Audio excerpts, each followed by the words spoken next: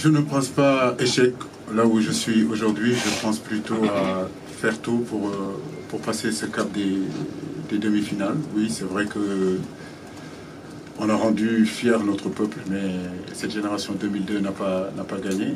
mais je pense que les dirigeants qui étaient là, les joueurs qui étaient là, l'entraîneur qui était là, on ne peut pas effacer aussi tout le bonheur qu'ils ont pu donner à, notre peuple. La question se posera toujours, est-ce que réussir dans le football, c'est toujours gagner Ou faire un travail conséquent, un travail aujourd'hui qui laisse un héritage qui fait que cet héritage-là, nous, on l'a repris. Euh, nous espérons bien sûr cette étoile-là. donc, euh, nous travaillons pour ça depuis des années. Nous sommes proches. On n'a jamais été aussi proches, mais il y a l'obstacle burkinabé, comme vous le dites, qui est là, qu'il faut, qu'il faut passer demain. Après, sur la pression, depuis un mois, on me pose toujours la même question. Je pense que les 24 entraîneurs qui sont là, jusqu'à Camou, aussi, il a un challenge à jouer.